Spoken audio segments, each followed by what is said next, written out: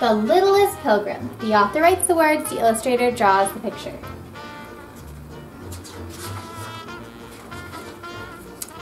Minnie was a pilgrim. She lived with her family in a small village. There were many pilgrims in her village, but Minnie was the littlest one. Even though she was small, Minnie tried to help with the village chores. One day, Minnie decided to be extra helpful. Minnie found her big brother by the house. He was stacking wood for the winter. She wanted to help. Look, brother, Minnie said, I am helping to make a wood pile, but Minnie's brother was too busy to notice her. Minnie went inside the house and found her big sister. She was mending a dress. I am ready to sew, said Minnie. Sorry, Minnie, said her sister. You are too little to help with mending. Go help Mama. I am busy. So Minnie went outside to help her mother. She was at the oven baking bread for dinner. Look, Mama, said Minnie, I am helping. But Minnie's mother was so busy making bread, she didn't even hear Minnie. Minnie went to find her father. Surely he would want some help. He was getting ready to hunt for food in the forest. Sorry, Minnie, you are too little for hunting, Minnie's father said when he saw her. Why don't you go pick some berries for us to eat?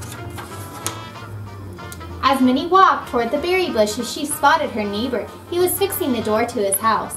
I can help, Minnie started to say. Sorry, Minnie, this is a big job and you are too little. Minnie wandered through the village. She was sad.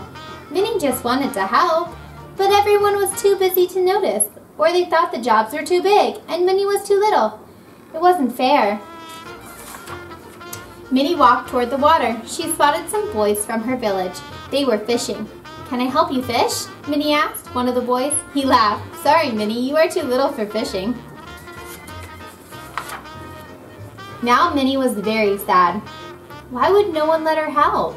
Minnie knew there had to be something special she could do, even if she was little. Minnie started to walk home and saw some berries along the way. As she picked them, she heard something rustling in the leaves. Minnie moved closer to get a better look. There, at the edge of the forest, stood a girl. And she was little, just like Minnie. Hello, said Minnie. What's your name?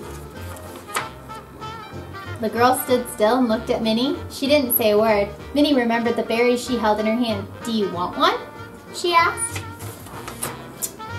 At first, the girl just stared at Minnie, but soon she began to smile a very big smile.